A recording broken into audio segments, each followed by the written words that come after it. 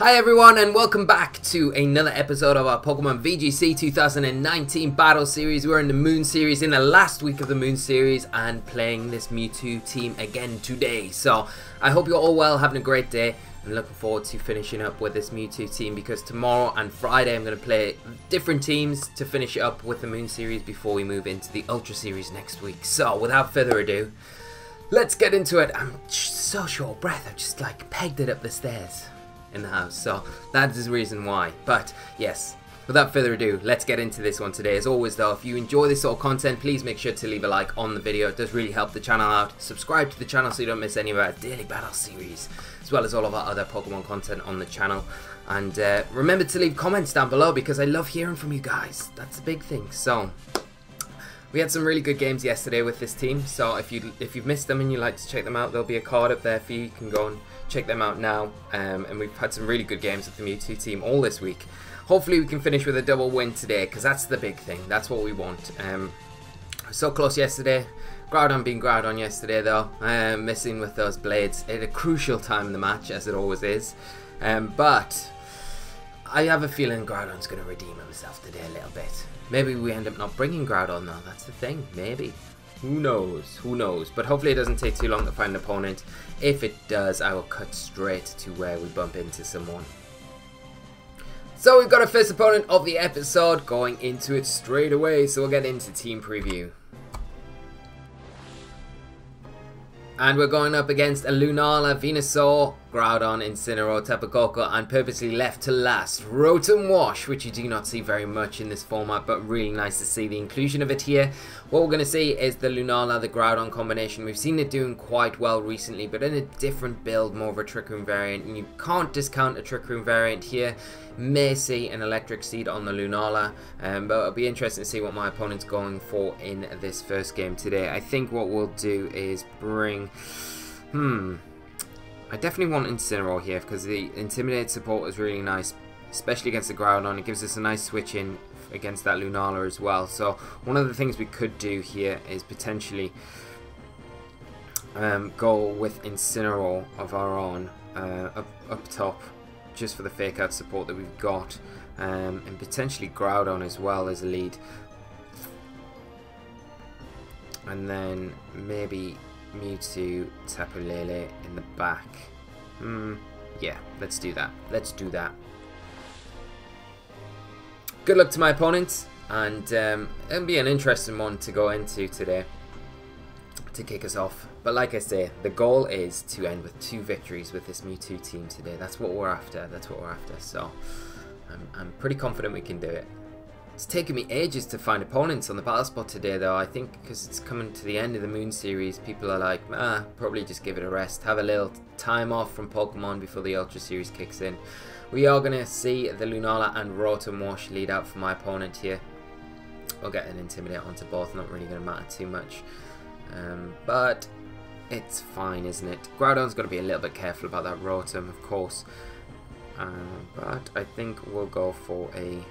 I mean, we could knock off into the Rotom, because I feel like the Lunala probably does protect here, but at the same time, I just want to knock off that slot. And I think we will... Hmm, do I switch out Groudon? Into Lele? Hmm, yeah, I'm going to do that. I'm going to switch the Lele and just get Lele onto the field now.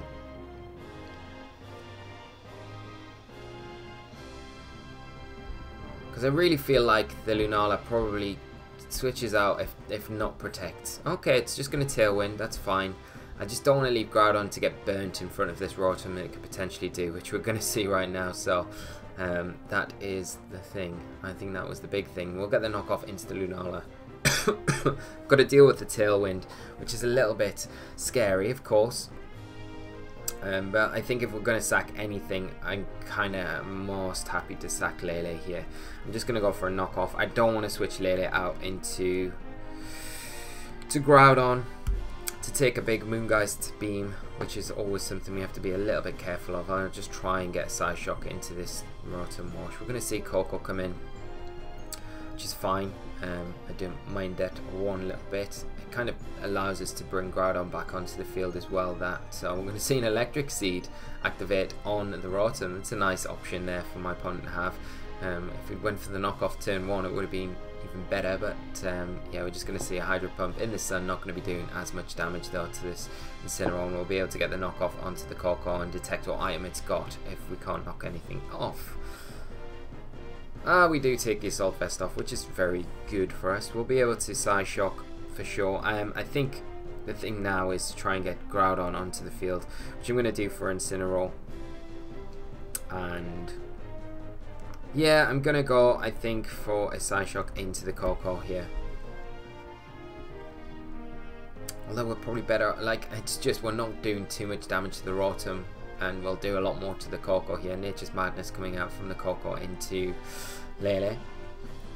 Okay. And hopefully if Lele gets through this turn, we'll be able to get it back in uh, with the Psychic Terrain the following turn, because we should be able to switch it out now for Incineroar. Um, so we've got that terrain to bring in later in the game. But we'll protect Groudon, just stall out these last few turns of Tailwind and get Incineroar back onto the field.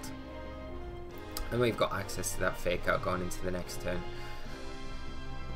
Let's see what my opponent decides to go for here. Nearly Koko's Assault Vest, so cannot protect. That's one thing that we've got kind of in our favour going into this next turn if there's no switching here from my opponent. So we see the Groudon Protect, see a Dazzling Gleam come out from the Koko. It's going to do a bit of chip damage to our Incineroar, but not too much. It's not very strong, and another Will-O-Wisp into that slot, so that's fine. Um, I mean, here we're pretty... Oh, it's not very good, is it? Our opponent disconnects. Hmm. It's unfortunate if it was just a mishap because that was an interesting game, but we'll go into our next one. And we'll just continue. Hopefully it doesn't take too long to find an opponent. As always, I'll come back straight to when we do.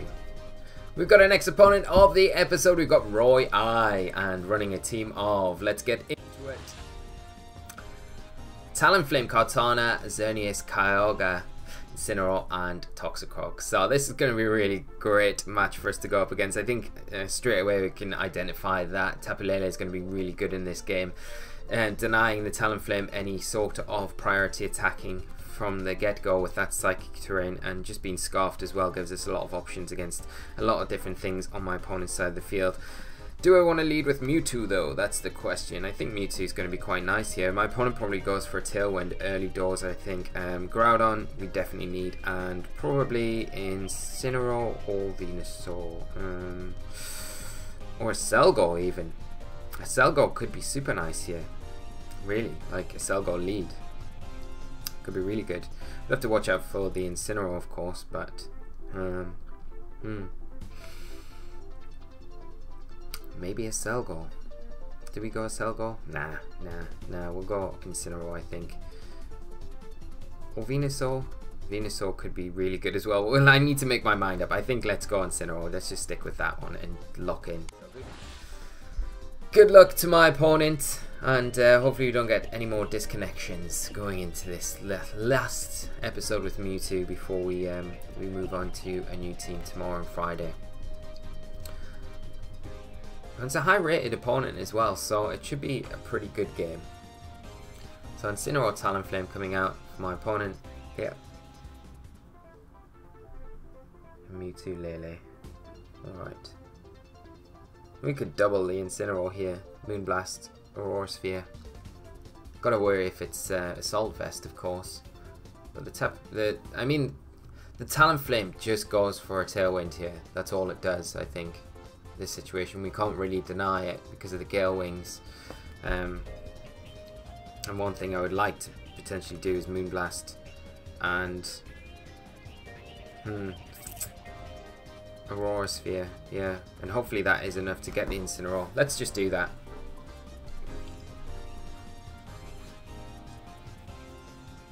Hmm. Hopefully it is enough. Time, Flame, Tailwind, yeah.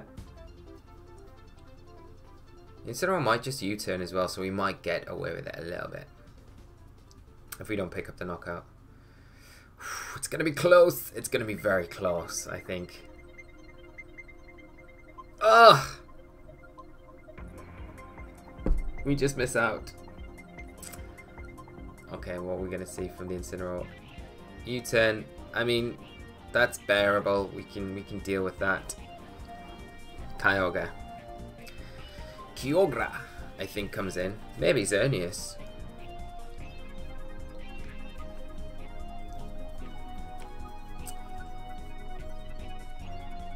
I don't mind the Xerneas coming in right now. Because if it wants to yeah, it's a Kyogre. Yeah. We do have the Groudon switching. We have to be careful about um, I think we get Lele out. Uh, bring Groudon in. Um, Talonflame. What's it gonna do? It can't really attack us. It has to Flare Blitz. Probably wants to Flare Blitz and cover a Groudon switching. Um, I could potentially keep Mewtwo around for later on and bring Incineroar onto the field just to get an Intimidate onto that Talonflame, which might be nice, and then we can potentially fake it out the next turn. Yeah. Yeah, let's do that. Let's do that. Let's not risk our Psychic pairing here.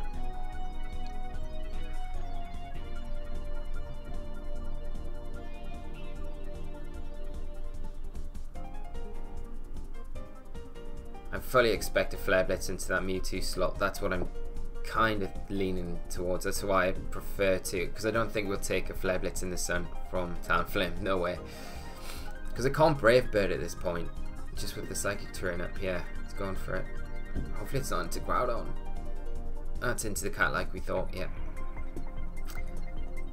And then a Water Spout, yes. Should take this alright.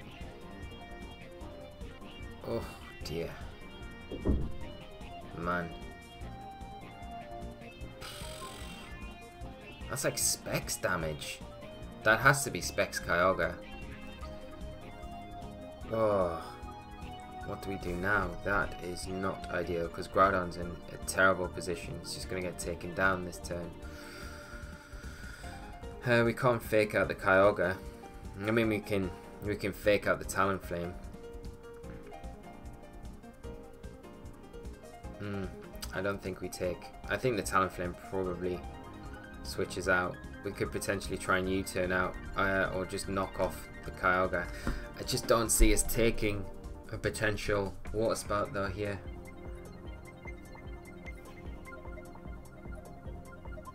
Brave Bird.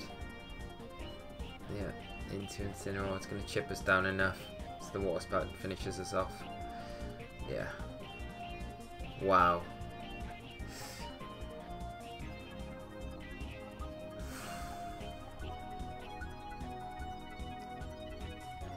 Okay, I think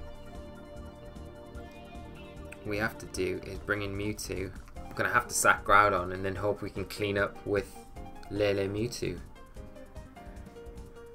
Because we can deny the Talonflame another Tailwind. That's the thing.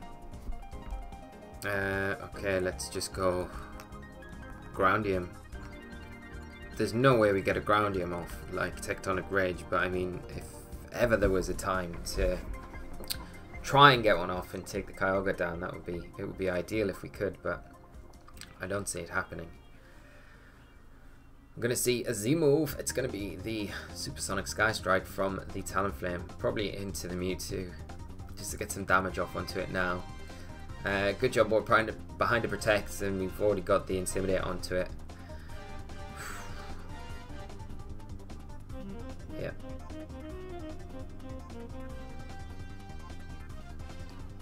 Doing nothing.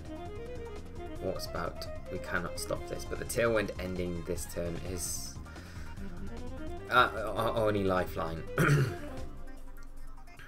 Good job we didn't keep our Psychic Core in against it. So, yeah, there we go. Uh, Tapu Lele coming in now. I think we just Psy, Psyshock, the Talonflame, Psystrike, the Kyogre. The Kyogre might switch out now.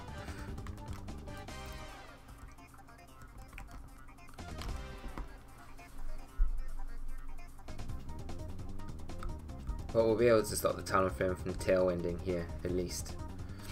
You might see the Incineroar come in on that Kyogre slot.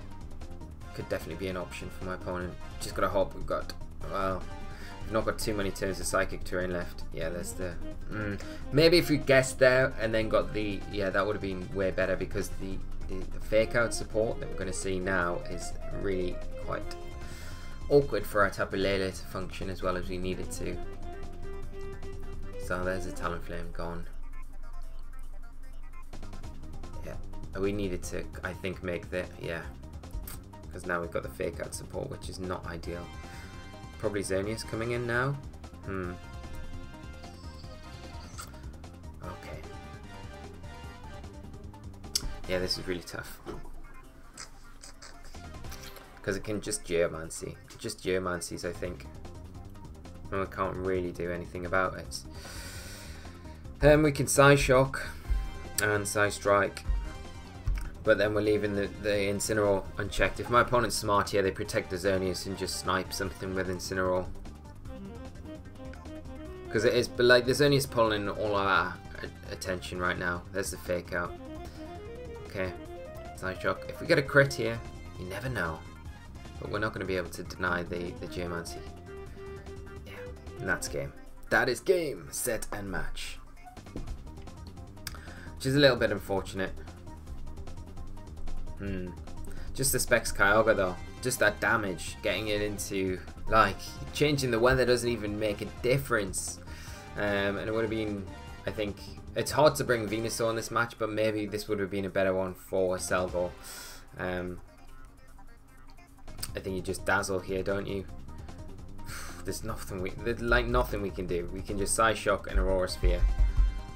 Because we're not going to take any, we're not going to take yeah, we're not going to take the Dazzle from the Xerneas. Maybe with Lele, but not with Mewtwo. Nah, no way. So I'm gonna get into my opponent. I think the, the, the Specs Kyogre, and especially in a best of one situation, it's it is one of those things that if you kind of don't expect it, it will catch you off guard and it will just destroy you like it did. I mean, look at the damage it did to Groudon. We're running a bulky Groudon in this team. Uh, took us down to 62 HP, which is just insane in the sun. Um, so yeah, allowing our opponent to get the tailwind off, and we, we didn't really have a way to get around that either. I mean, we could have led a little bit differently in this match, I think. That's the big thing. But we will move on and find our next opponent and finish off with hopefully a victory. Hopefully a victory. That would be good. That would be the only thing. We've got to do it for Mewtwo. Got to do it for Mewtwo. So hopefully it doesn't take too long to find an opponent. If it does, I will cut straight back to where we, we find one, guys. And we have our last opponent of the episode. So we're going straight into it and hop into team preview. And we're going up against Kyogre, Lunala, Stakataka, Incineroar, Ludicolo, and Tapu Fini. So we've got that Kyogre, Lunala combination that we don't see too often in the Moon series. Really nice combination as well. Normally seen with Tailwind support there to support that Kyogre a little bit better. But it could also have Trick Room. We've also seen tend to be something played on Lunala recently. What are we going to do though? We definitely need Groudon in this matchup for the Stakataka, the Kyogre, the Weather Wall, the Incineroar. Um, but I think what else do we want to do? We want to try and prevent any sort of Trick Room setup as well. So, I mean, Tapu Lele Mewtwo do a nice job here. We're going to have Groudon in the back and then probably Incineroar as our last Pokemon. Makes a lot of sense, so we'll just click in and get straight into this one. Yeah, I think Incineroar we definitely need in this match, just for the Lunala having that nice switch in in case it gets a bit threatening with its Z move that it could potentially have on there. Uh, we could see Scarf Kyogre, but if it is, then Lele deals with it pretty nicely. Um, we've got to be careful though, because the speed control here is going to be the thing that like clinches the match and puts my opponent in a way better position for them to kind of close things up. So we'll see what they approach with. We're going to see the Lunala Incineroar come out for my opponent.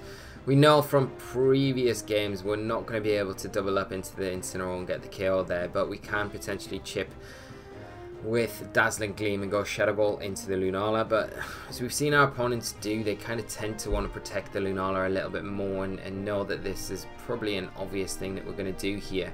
Uh, so maybe approach it a little bit differently. At the same time, we've got to worry about maybe Trick Room coming out from that Lunala or a Tailwind and then the U-turn pivot from the Incineroar. So I think to kind of combat that, uh, I'm going to Dazzle and go Shadow Ball into the Lunala. And hopefully we can pick up the, the KO there because that would be amazing getting such an early advantage uh, turn one of this game. But like I say, players kind of tend to want to protect their Lunala a bit more and are threatened by this combination. As we're seeing here, just the Lunala protect. And the Incineroar probably going to, mm, I don't know, knock off the Mewtwo maybe. To get a little bit of chip damage. Yeah, Shadow Ball. Oh, it's just U-turning. Okay, into Mewtwo. So it means Mewtwo can stick around for another day, which is always good. But what we're we going to see come in? Is it going to be Kyogre? Hmm. Potentially. But I mean, the next turn you've got to think that my opponent probably is going to be forced to switch that Lunala out because of the threat of the Dazzle, break the Shadow Shield, and the Shadow Ball on top of that. So I'm not really worrying about that slot next turn, depending on what comes in on the other side of the field. If it's Kyogre, then you've got to worry about the Scarf a little bit. Um, and Lele is not in a position now where it can do significant damage with just Dazzling Gleam. So we probably will have to reposition. So the Tapu Fini's going to come back in now. Oh, okay. Get rid of the Psychic Terrain. Oh, what do we do? Do we snipe the potential Incineroar coming back in with an Aura Sphere?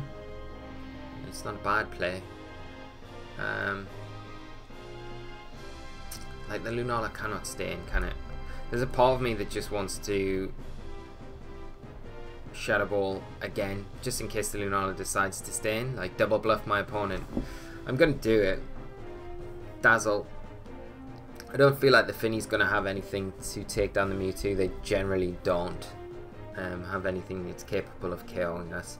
And it's denying the speed control that I'm really worried about. So if my opponent really wants to try and go for it, then they can here, but they will go down.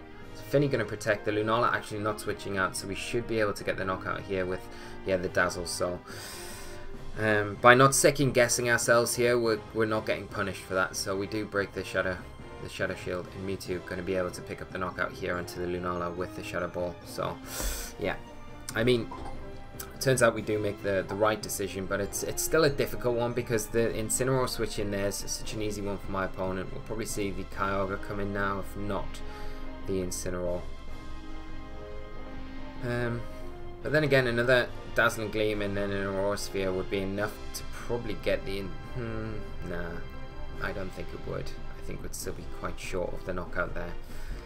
Um, but it's a nice time to bring Groudon onto the field, although I do worry about bringing Groudon out before that Kyogre hits the field because we want to try and lock the, the weather when we can.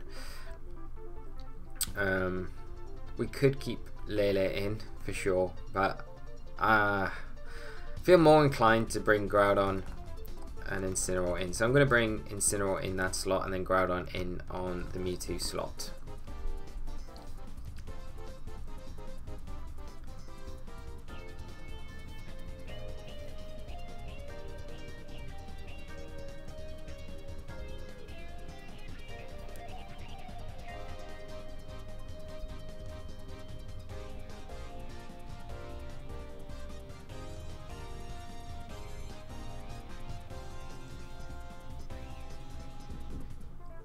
Okay, so we get the sun up, uh, get Groudon in.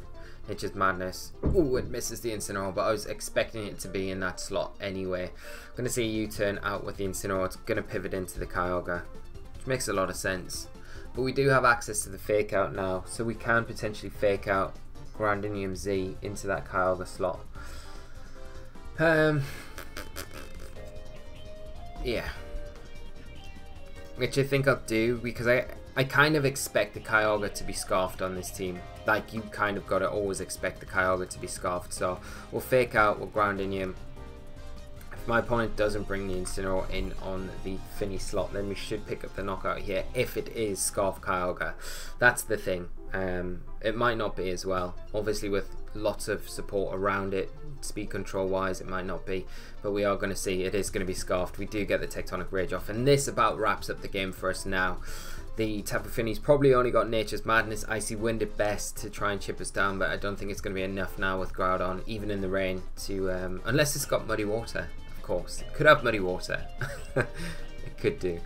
But at least we'll be able to finish with a win with the Mewtwo team. It did a little bit of work at the start, obviously getting rid of the Lunala is the big thing here for us. Um, and then Groudon coming in to uh, take advantage of, yeah, the heal pulse coming out. Alright, that's fine. Um, and now Incineroar just going to hit the field once again. But I don't really feel like we even need to switch out now. We can just go for a knockoff into the Tapu Fini, get rid of a berry, and just start throwing out some blades, and hopefully Groudon has he specs on, like we were saying earlier, and uh, doesn't miss miss a trick here.